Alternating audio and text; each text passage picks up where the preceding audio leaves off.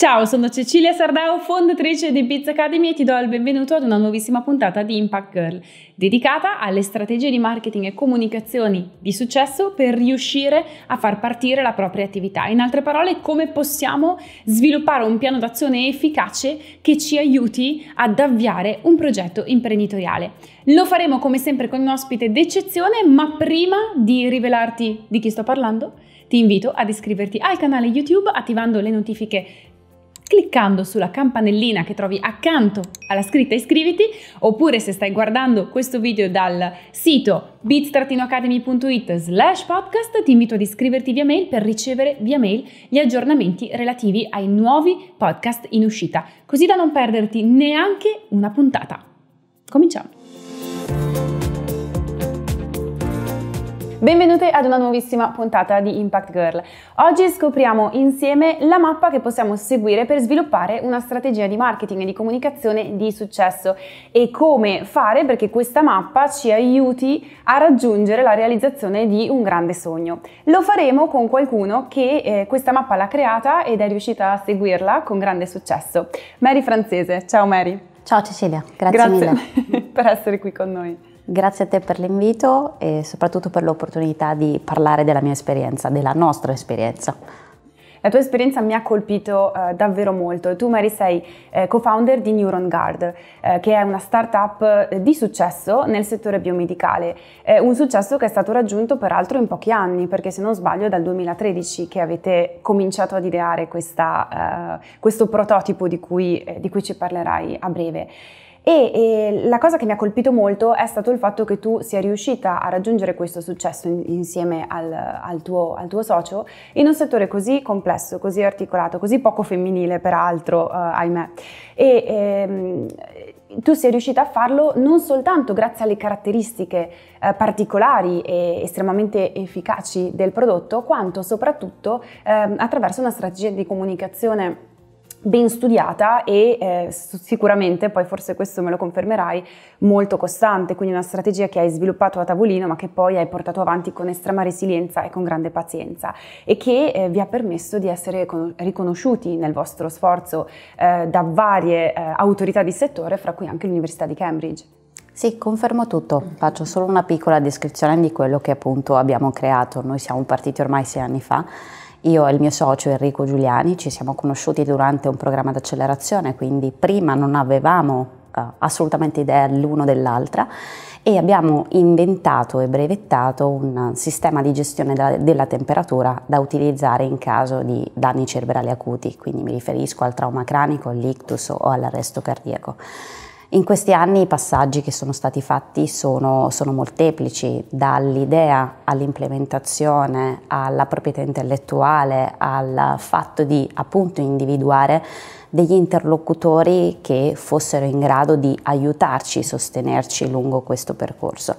Naturalmente quello che ci ha insegnato questa esperienza in questi primi sei anni, a prescindere da un progetto che sia medicale o che non sia medicale, il contatto continuo con gli interlocutori comunque avere una strategia di comunicazione, di marketing ben definita sin dall'inizio, ti permette anche di superare tutti gli ostacoli che poi di volta in volta si incontrano lungo il percorso. Naturalmente per fare degli esempi come posso, per trasmettere anche dei messaggi, noi inizialmente eravamo partiti da fare alcuni test in laboratorio appunto in Italia e volevamo, una volta raggiunto un prototipo ben definito di eh, dispositivo, provare a testarlo appunto sul, sull'uomo.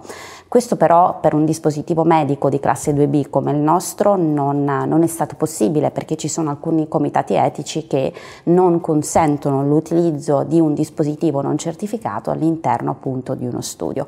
Quindi grazie al contatto, alle esperienze precedenti anche di Enrico in Inghilterra e al definire anche una strategia di comunicazione globale, internazionale sin dall'inizio, ci ha permesso poi di arrivare all'Università di Cambridge e a diversi interlocutori. Questo anche alla, grazie ad una partecipazione, mi riferisco nel 2014 di Enrico ad una fiera a Tel Aviv, quindi quanto è strano il mondo, appunto siamo partiti dall'Israele, lì ha fatto visita allo stand del, dell'NHS, appunto l'ente sanitario di riferimento dell'Inghilterra e da lì poi sono nati tutti i contatti, quindi per la serie Homo Faber Fortune Sue. Quando si cercano delle opportunità, delle opportunità poi possono nascere tante di quelle occasioni che sta all'uomo poi sfruttarle in nuovi punti, nuovi traguardi e nuovi obiettivi. Ti chiedo Mari, quanto della vostra strategia di marketing e comunicazione, soprattutto di quella che tu hai sviluppato in prima persona, è stato pianificato prima di partire? E quali sono le pietre miliari di questa pianificazione? E quanto invece è arrivato appunto come, eh, come in questo caso con la partecipazione a questa fiera eh, quasi casualmente? Diciamo che è stata definita sin dall'inizio perché appunto Neuron Guard essendo frutto di un programma di accelerazione era una delle, delle, cose, uno degli obiettivi appunto da portare avanti.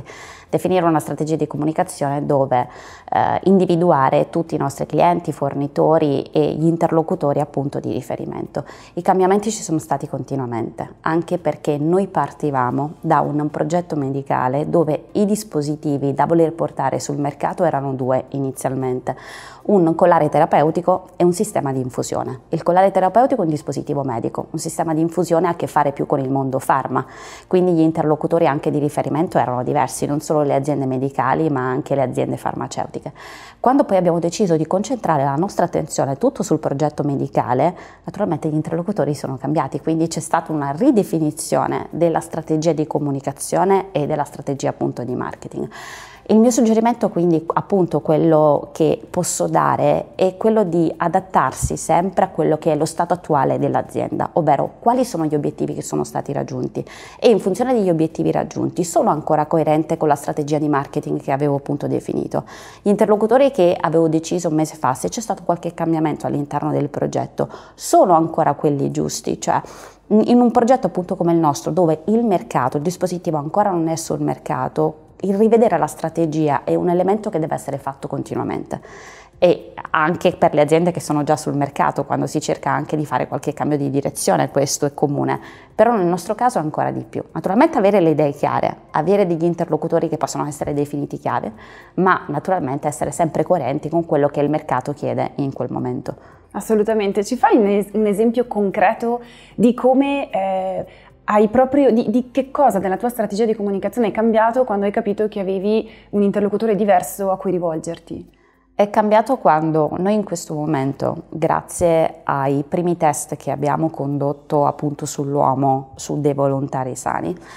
siamo riusciti ad individuare un altro mercato di riferimento, nel senso che la gestione della temperatura ormai non è praticata solo a livello medicale, ma anche in un ambito sportivo. Ci sono tanti atleti che appunto prima di qualunque competizione decidono di fare un raffreddamento, tipo c'è la criotermia, l'immersione in delle vasche di ghiaccio o ancora il voler mettere degli indumenti in delle vasche di ghiaccio e poi indossarli per avere una maggiore concentrazione.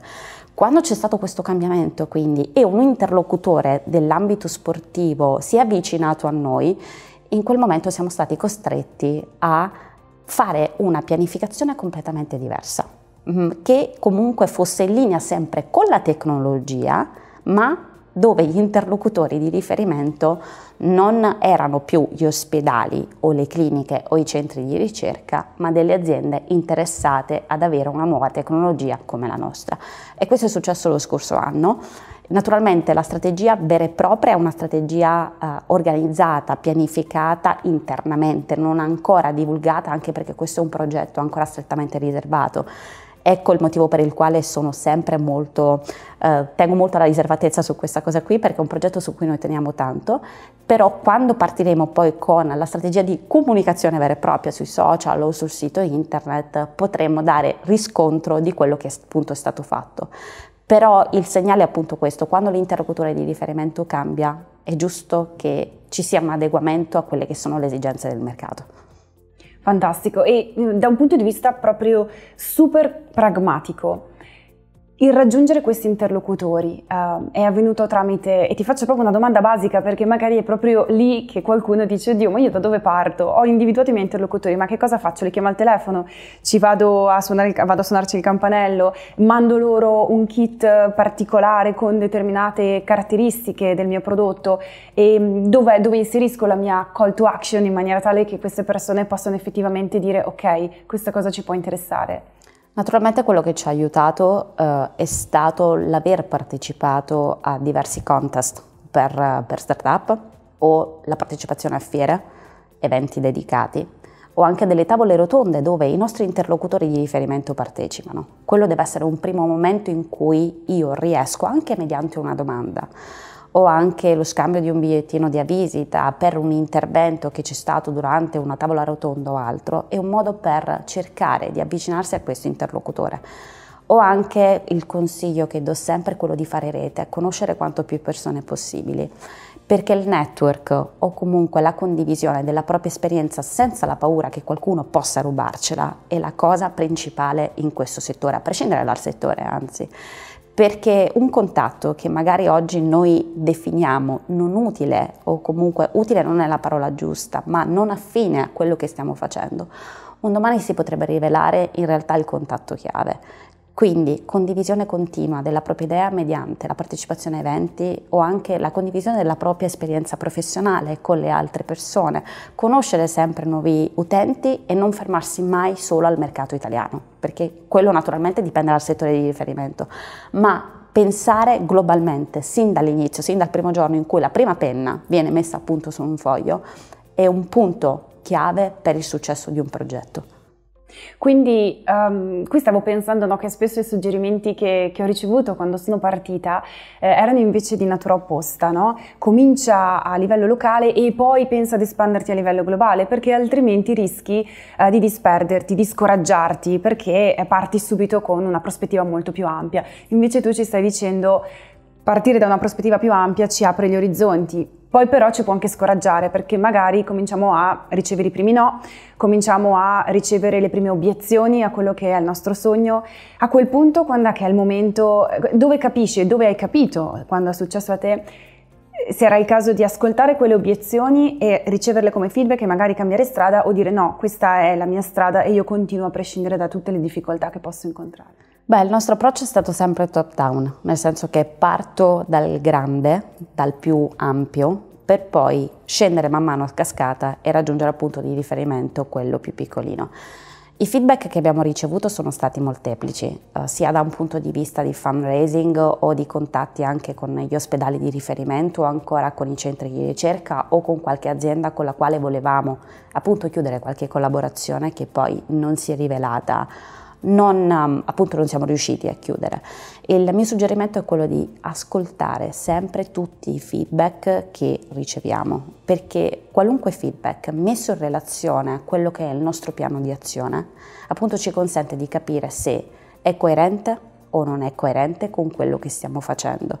Poi io credo anche molto nel patto generazionale, nel senso che mh, mm, le persone che hanno molta più esperienza di noi hanno sempre qualcosa da insegnarci ed è una cosa reciproca. Quando c'è un confronto, anche una chiacchierata, sempre porsi in un'ottica win-win, ovvero io ho qualcosa da condividere con questa persona, questa persona ha qualcosa da condividere con me, cerchiamo appunto di trovare una relazione che ci consenta quindi di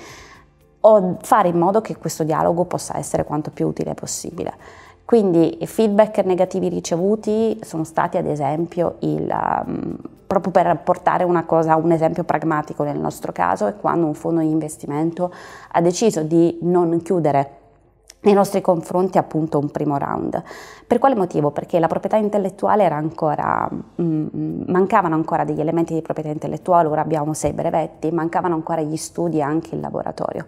In quel momento non abbiamo visto quei feedback come negativi o come un ostacolo, ma come un dire ok, facciamo in modo di trovare le risorse necessarie per raggiungere questi obiettivi, per poi ripresentarci a questi interlocutori in un modo molto più forte. Naturalmente io credo, ok, ostacolo, non esistono ostacoli, esistono delle opportunità o comunque dei gradini che di volta in volta noi decidiamo di salire per raggiungere la vetta più alta della nostra scalinata.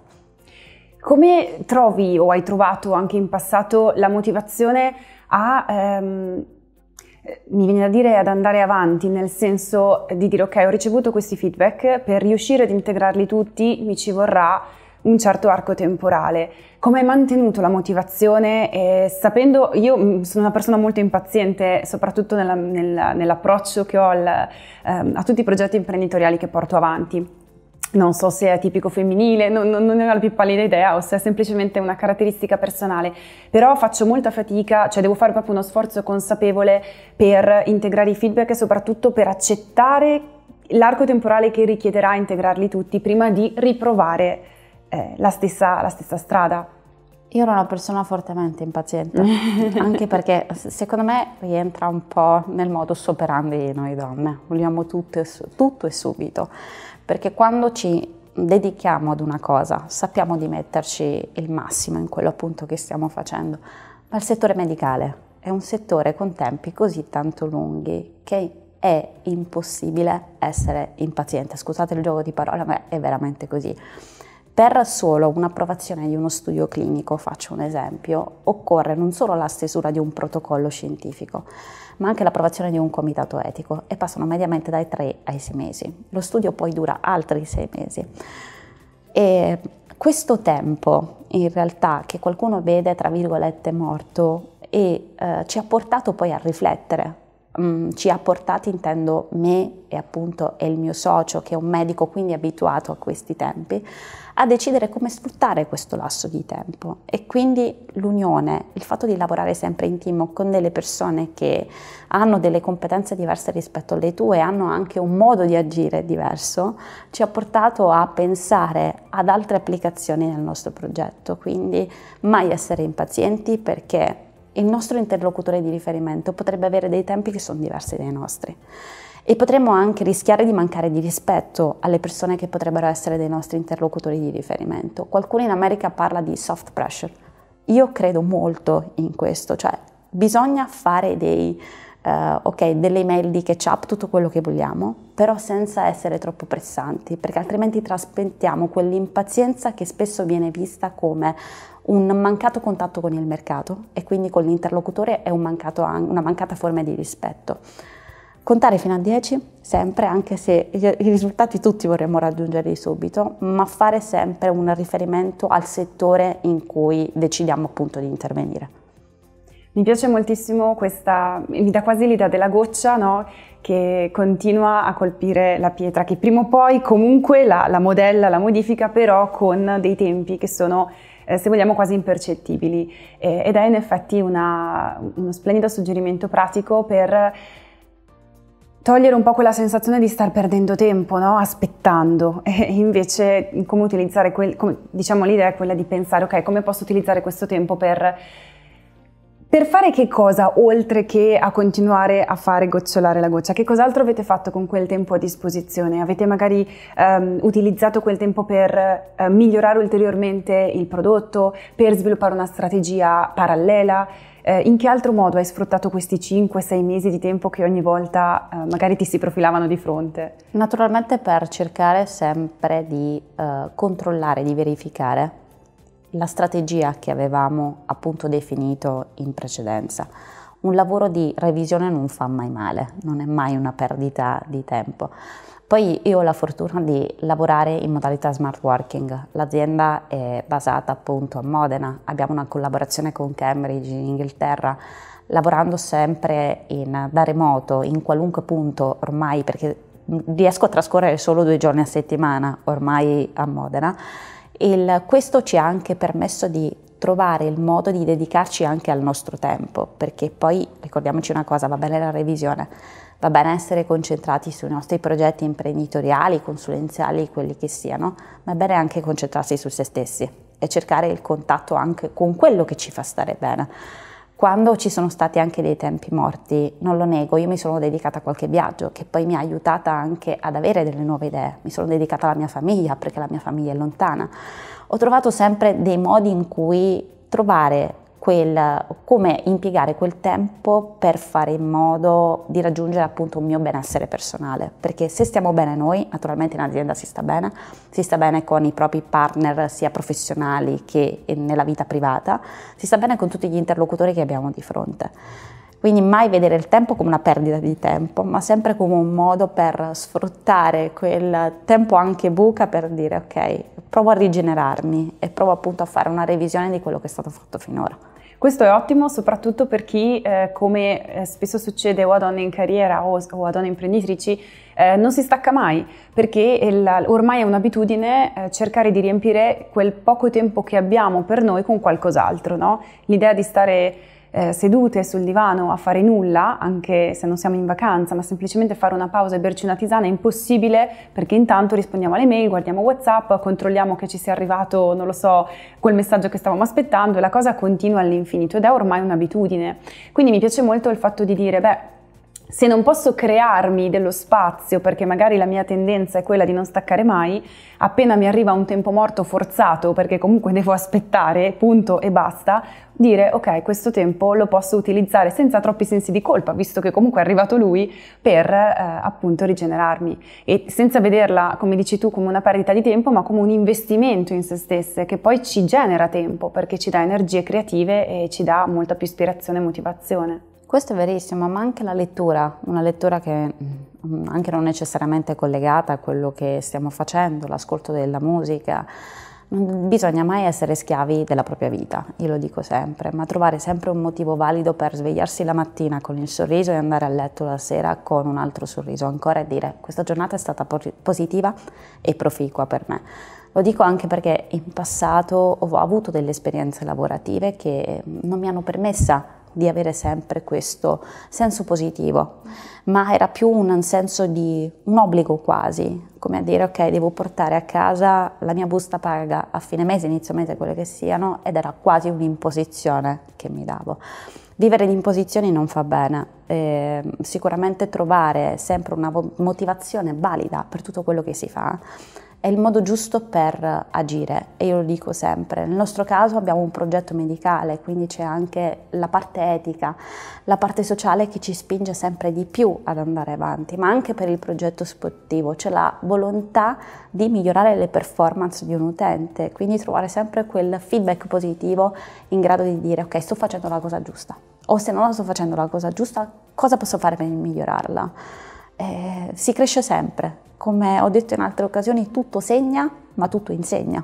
Quindi da tutto è giusto trarre un insegnamento per migliorarsi giorno dopo giorno. Ti sei mai svegliata una mattina pensando sto sbagliando tutto? Sì, mi è successo prima di iscrivermi al master appunto nel 2013 e quindi anche prima di conoscere il mio attuale socio. Io ero in provincia di Napoli, ero tornata dai miei genitori dopo delle esperienze all'estero anche universitarie. Eh, gestivo una cooperativa erogante servizi a supporto ai centri riabilitativi. L'ho fatto per due anni, ma non ero motivata. Quindi un bel giorno, la mattina non ero motivata, mi sentivo quasi come la classica figlia di papà eh, a casa con i propri genitori, tornata, che non ha il problema di dover eh, trovare soldi per un rifornimento, perché tanto la macchina, c'era il rifornimento sempre tutti i sabato che mio padre prendeva la macchina, non avevo il problema di andare a fare la spesa, di pagare le utenze e non ero soprattutto motivata nel lavoro, sempre un lavoro nel sociosanitario assistenziale, però mi sentivo più vittima e schiava di quel lavoro e non ero motivata affatto. Un bel giorno mi sono svegliato e ho detto ai miei genitori io mollo tutto e vado su a Milano perché ho trovato un master in imprenditorialità e strategia aziendale e mi hanno dato della matta ma della matta fuori di testa mi è stato dato anche quando poi ho conosciuto Enrico ho deciso di investire in NeuronGuard, quindi la mia vita è fatta di pazzie e se qualcuno non mi dà della matta vuol dire che non sto facendo la cosa giusta in quel momento. Quindi ti chiedo a questo punto, diciamo che tu hai sognato in grande fin dall'inizio, nel senso che poi ehm, dopo, quando hai deciso appunto di abbracciare questo nuovo progetto, è stata un'incognita eh, con la I maiuscola. C'è, ci sono situazioni a tuo avviso in cui sognare in grande, soprattutto per chi di noi vuole creare qualcosa, può rivelarsi controproducente? È, co, come, o meglio, ti, ti, riformulo la domanda, come possiamo sognare in grande in maniera tale da non ingannarci, da non illuderci, da non inseguire un miraggio che comunque eh, rischia di farci svegliare un giorno, guardarci indietro e dire oddio, se avessi fatto qualcos'altro, se avessi accettato i feedback che mi arrivavano, se fossi no, guarita dalla mia pazzia, forse non sarei qui oggi. Non perdendo mai il contatto con la realtà, ma nemmeno con se stessi e non essere mai presuntuosi. quello che paga molto in, nel mondo professionale o comunque in generale nella vita è l'umiltà, l'umiltà di saper accettare anche un commento negativo e di saper affrontare quelli che sono degli ostacoli anche ad un progetto. Sempre parlando con degli esempi pratici in riferimento al nostro progetto, noi partiamo come un collare refrigerante, quindi inizialmente il nostro collare doveva essere utilizzato solo per ipotermia terapeutica, ma poi il mercato si è spostato sempre di più verso la gestione della temperatura, quindi un'esigenza di dire è giusto fare prima una temperatura mirata al freddo e poi portare sul mercato un dispositivo che consenta al paziente anche di tornare a quella situazione di normotermia. Se noi avessimo continuato a pensare al nostro dispositivo solo come un collare in grado di fare freddo, detta molto semplicemente, avremmo sicuramente perso il contatto con il mercato e quindi con la realtà. Bene essere innamorati di quello che si fa, ma non essere troppo vincolati all'idea iniziale. È un po' come i bambini. I bambini quando crescono bisogna lasciarli andare, bisogna lasciarli cadere e bisogna lasciare appunto che possano fare delle esperienze di vita. Nel nostro caso è la stessa identica cosa. È giusto commettere degli errori, perché si commettono degli errori, ma sempre trovare da quell'errore una lezione di vita che poi possa aiutarci a migliorare sempre di più quello che è il nostro progetto. Quindi in soldoni appunto mai essere presuntuosi, sempre tanta umiltà e un continuo contatto con la realtà e con gli interlocutori di riferimento, perché i feedback aiutano sempre in qualunque momento. Importantissimo questo soprattutto per chi crea appunto un progetto e se ne innamora, hai usato una parola giustissima, no? Ci sono molti eh, imprenditori o imprenditrici, quindi eh, in genere non ha importanza, ma eh, che proprio eh, considerano e chiamano il loro progetto il proprio figlio, il proprio bambino.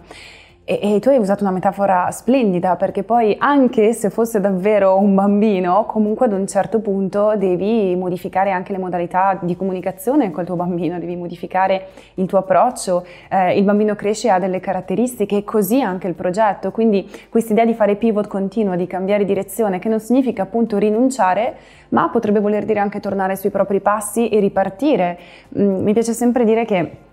eh, quando cambiare direzione mentre ci stiamo già muovendo è molto più semplice che non pianificare l'impossibile e, e, poi non partire mai, perché non c'è mai il momento perfetto, non c'è mai l'interlocutore ideale, non c'è mai abbastanza budget, non c'è mai un mercato sufficientemente grande e, e l'inerzia cresce, cresce, cresce, a un certo punto muoversi diventa impossibile, è come quando eh, dopo vent'anni di sedentarietà decidiamo improvvisamente di correre una maratona, è impossibile, cioè non ce la faremo mai. E, ehm, quando invece piccoli passi ci permettono anche di esplorare eh, quella che può essere eh, la, la, potenzialità del nostro progetto, essendo piccoli possiamo anche, come dire, fare pivot e modificare, ma già un, siamo già in moto, siamo già in movimento e quindi facciamo molta meno fatica anche a fare un'inversione a U e ripartire. Esatto, esatto. Io poi parto sempre dal rifiuto di mio padre perché quando vivevo ancora con i miei genitori a 18 anni, io dall'età di 14 anni seguivo sempre un po' l'azienda di famiglia durante il periodo estivo. Io vivevo a pochi passi dalla costiera malfitana, però trascorrevo le mie giornate più in azienda piuttosto che prendere il motorino e andare appunto al mare. Ero così tanto innamorata del progetto appunto aziendale di mio padre che avevo intenzione di continuare quindi quello che era stato fatto da lui in precedenza. Ma mio padre quando gliel'ho proposto mi ha detto no, questo non fa per te e mi raccomando se hai un sogno fai di tutto per poterlo realizzare. Questo rifiuto mi ha segnata sicuramente, all'inizio non l'avevo capito perché mi sono sentita rifiutata,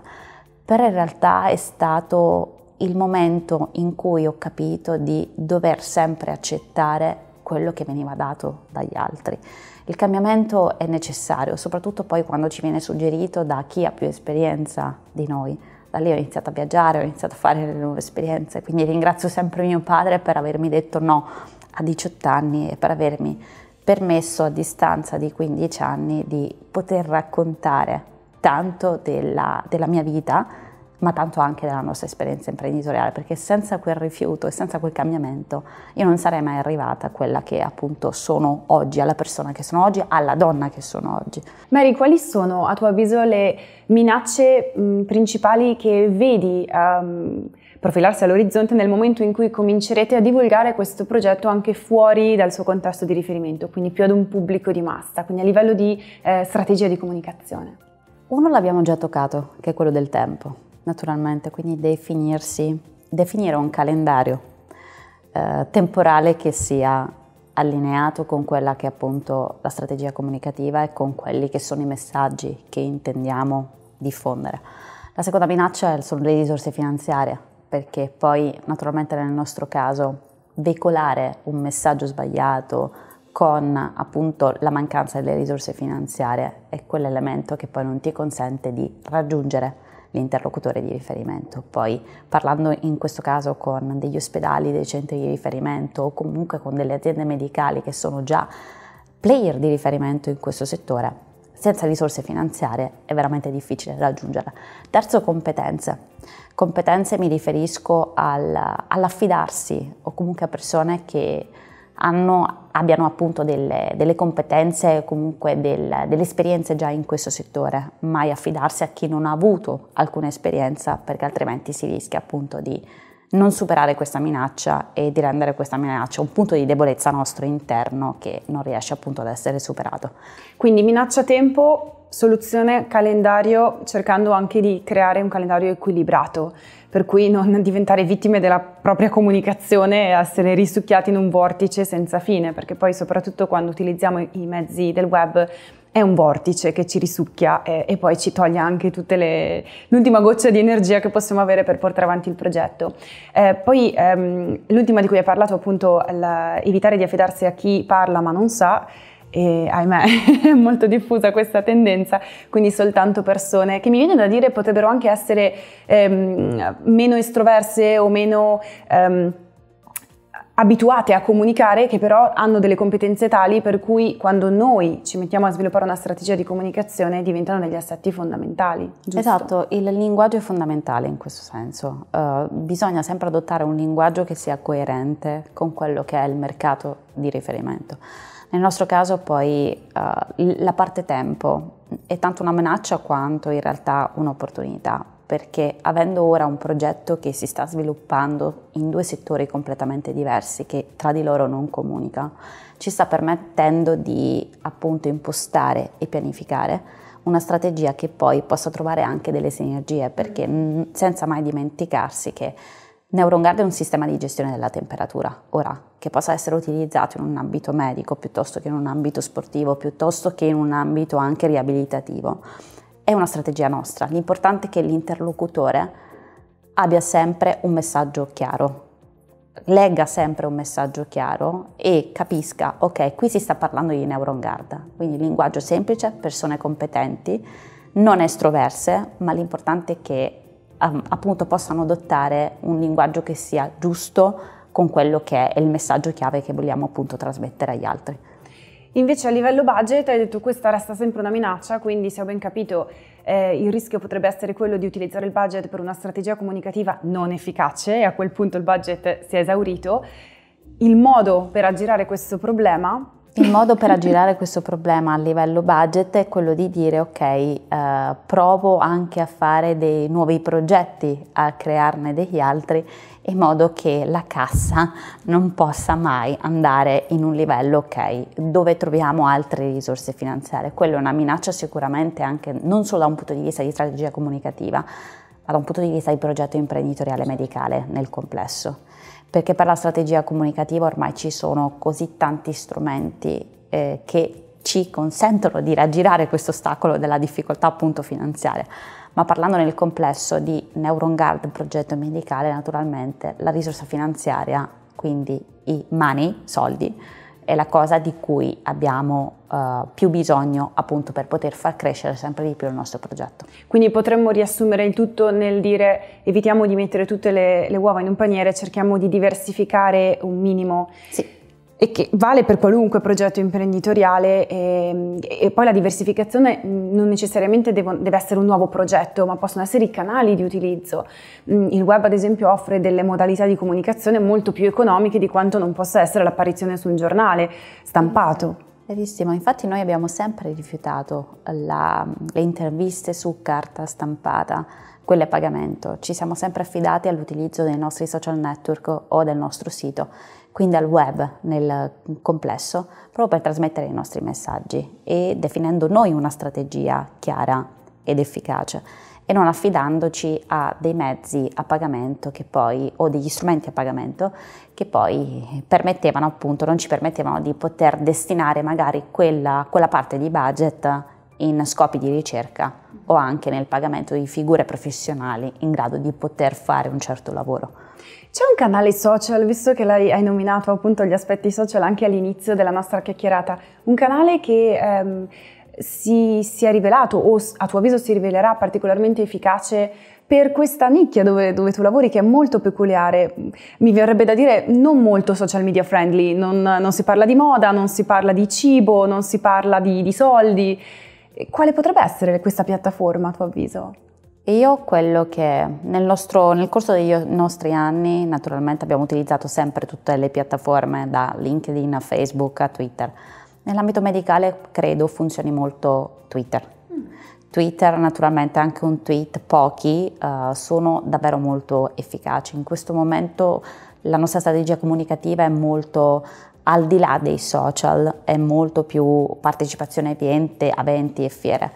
però l'ambito medicale tra LinkedIn e Twitter sono i social comunque di riferimento, ma anche Facebook. Su Instagram ancora non ho visto mm, delle aziende medicali presenti con il prodotto medicale in sé, ma piuttosto con delle strategie, con delle fondazioni collegate o comunque con degli interventi, con degli eventi a cui loro partecipano, in questo senso qui. Sì, sicuramente, però i social dipende sempre dall'interlocutore di riferimento, ma credo che Twitter sia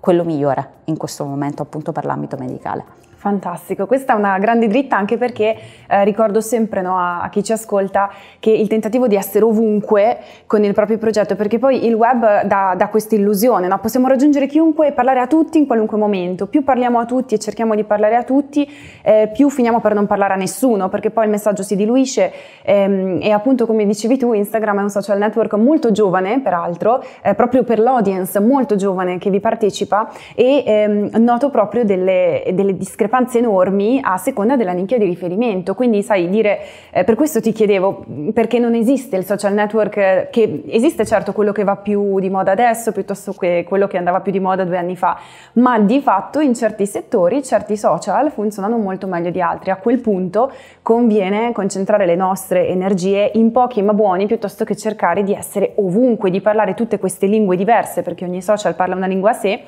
adattarle alla comunicazione nostra e diventa un lavoro, un lavoro enorme che poi esce anche dal nostro controllo perché eh, ci diluisce senza motivo. Infatti quello che dico sempre è di non seguire la moda, ma eh, seguire quello che è il nostro cliente di riferimento, vedere come si muove sui social e il tipo di comunicazione che cerca appunto di fare e trovare dei punti di collegamento, dei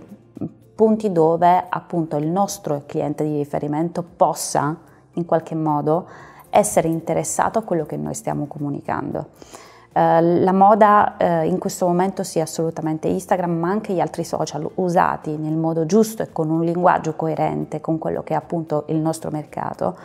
possono dare dei risultati significativi oggi e con un budget ridotto, lo sappiamo questo. Assolutamente, quindi mai puntare sulla, sul volume ma sempre sulla qualità, sì. eh, quindi anche un'audience un pochino più ridotta ma esattamente l'audience che è interessata a quello che stiamo facendo, piuttosto che avere appunto milioni di followers che in realtà eh, lasciano il tempo che trovano in un settore di sì. nicchia. Fantastico. Mary, a livello di mindset, che è una donna, e parlo di donne soprattutto perché noi siamo prese da mille insicurezze, ehm, spesso ci, dobbiamo, ci, troviamo ad affrontare i rifiuti che magari gli uomini non, non ricevono proprio per eh, gli stereotipi, per, per, abitudine, se vogliamo, di una società che, eh, soprattutto in un settore come quello medicale, è magari più incentrata nel talento maschile. Che mindset dobbiamo abbracciare in qualità di donne, al di là del settore in cui lavoriamo, per avere successo con il nostro progetto e per non, scora- non lasciarci scoraggiare? Il, la prima cosa che dico è quello di non nutrire alcuna gelosia nei confronti delle altre donne, anzi quello di, di fare rete, di non avere il timore di condividere la propria idea o il proprio progetto per il timore di essere o copiate o giudicate, perché il giudizio tante volte appunto fa male. Vedo sempre nella condivisione io un momento di arricchimento continuo. Condivisione mi riferisco sia al racconto di quelle che sono le proprie esperienze che all'ascolto di quelle che sono le esperienze altrui. Questo è uno dei, degli elementi principali, poi soprattutto quello di farsi avanti, di non avere il timore di dire a qualunque cosa, perché a volte anche una battuta non è necessariamente una brutta figura, ma è un modo per farsi notare. L'importante è individuare sempre un linguaggio che sia coerente con l'interlocutore che abbiamo di fronte. Io poi lo ripeto sempre, ero una persona molto molto timida, in classe mi nascondevo, facevo fatica ad alzare la mano, a proporre la mia idea. Ma questo lavoro è un po' anche l'esperienza, il fatto di essere circondata da persone più del sesso maschile che del sesso femminile. Eh, ad un certo punto mi sono chiesta, ma perché loro sì ed io no? Cosa mi manca? In realtà non ci manca nulla, ci manca solo tanta forza di volontà, il tempo necessario di dire ora mi dedico a questa cosa e non cerco di fare tante cose contemporaneamente, noi vogliamo essere anche molte, molto multitasking,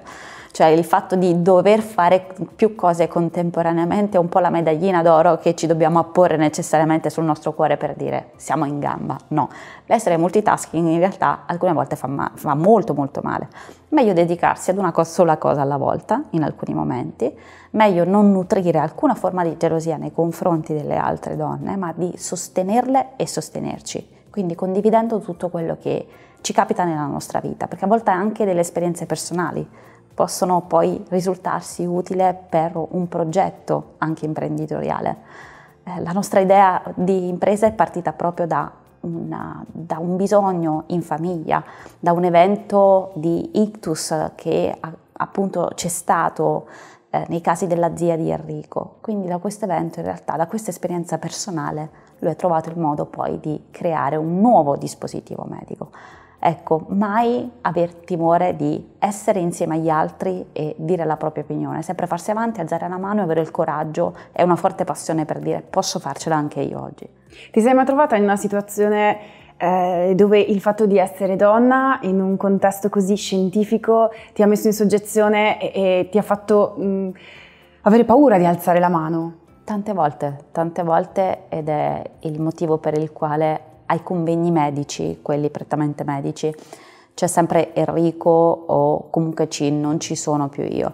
perché il convegno medico non rientra nelle mie competenze. Io sì, con questo progetto imprenditoriale ho appreso tante nozioni, però è giusto anche riconoscere i propri limiti, quindi se non sono dalla parte medica è giusto mandare chi è del certo. settore. O in altri casi sono stata definita come la segretaria, colei che preparava le presentazioni, i PPT come dicono in generale, per gli eventi o per le altre cose, ma quando mi vedevano poi presentare queste cose dicevano ok, l'abbiamo sottovalutata invece. La paura c'è sempre, però quello che dico sempre è non trasformare la paura in ansia, ma in un modo per dire posso farcela, contare fino a 10 e dire anche io ho le carte in regola per poter dire la mia e avere il coraggio di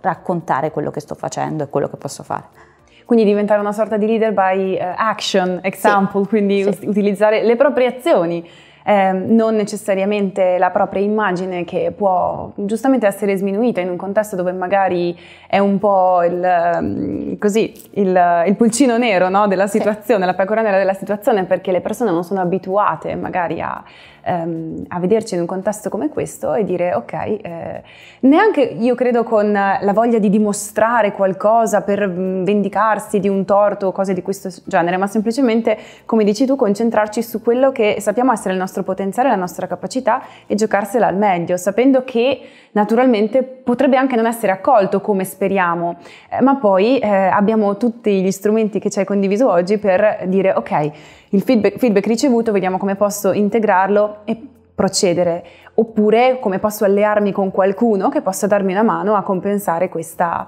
uh, questa carenza che mi è stata detta di avere. In realtà non solo giocarsela al meglio, ma anche giocarsela nel momento giusto, perché poi tante volte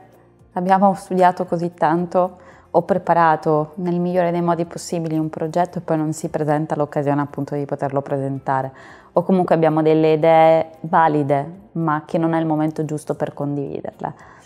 Bene avere appunto delle idee chiare ma trovare sempre il momento giusto in cui parlare. A volte una frase detta in un momento sbagliato può veramente uh, porci in qualche difficoltà, porci qualche ostacolo. Contare fino a 10 a volte aiuta, non essere tanto tempestive o avere quell'irroenza di dire devo assolutamente dire qualcosa. Meglio un'unica parola, ma detta in modo coerente ed intelligente e non dieci cose dette in modo un po' così piazzate lì tanto per dire una cosa, perché poi se l'interlocutore ha un livello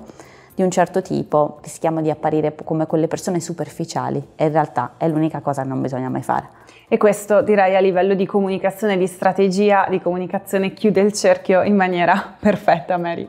Se eh, dovessi chiederti chi è eh, una donna che dovrai intervistare dopo di te, chi ti verrebbe in mente? In realtà mi vengono in mente tante, tante donne, ma se dovessi dire solo una,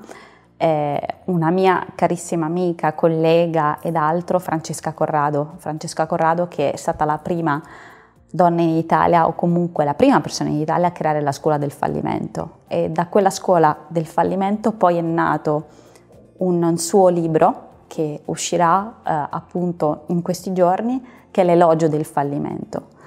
ed è, lei ha tanto da insegnare da un punto di vista di strategie comunicative da come in realtà il fallimento non, non è un ostacolo ma un modo per dire ok c'è sempre un modo per andare avanti osare per sbagliare. Ed Bellissimo. è questo il messaggio principale, quindi se dovessi pensare ad una persona, la prima che mi viene in mente è lei proprio per i messaggi giusti, non giusti, ma per i messaggi che vogliamo trasmettere da un punto di vista di strategia comunicativa e di, da quanto noi donne abbiamo la necessità di reinventarci continuamente. Fantastico Mary, io ti ringrazio davvero tantissimo per essere stata qui con noi oggi. Grazie a te, è stato un vero piacere e spero di aver trasmesso quello che c'è appunto di più bello in questo mondo. Ragazze, grazie per averci seguito, grazie ancora Mary per essere stata qui. Vi ricordo che sotto l'episodio troverete tutto il minutaggio preciso di ogni tema che abbiamo affrontato oggi. Mi raccomando, condividete qui sotto i commenti eh, del video o dell'audio se state ascoltando eh, l'idea che vi ha colpito di più e soprattutto che vi portate a casa per metterla in pratica, perché se non mettiamo in pratica quello che impariamo, che ci stiamo a fare qui? Punto di domanda. Con questo io vi saluto, saluto anche te Mary una buonissima giornata, una splendida serata.